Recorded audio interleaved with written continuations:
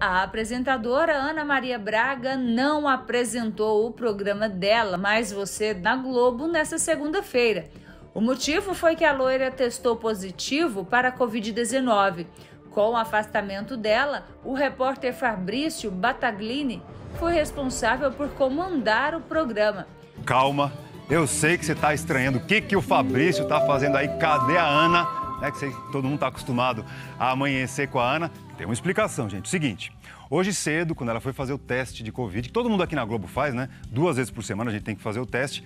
Hoje, o teste da Ana deu positivo tá bom?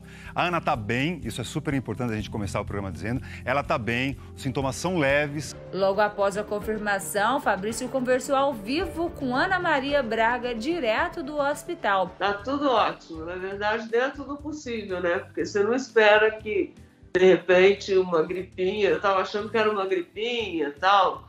Tava mais ou menos assim, desde quinta passada, mas é, sei lá, acho que a gente não espera mesmo. Né? Eu nunca penso no pior, né?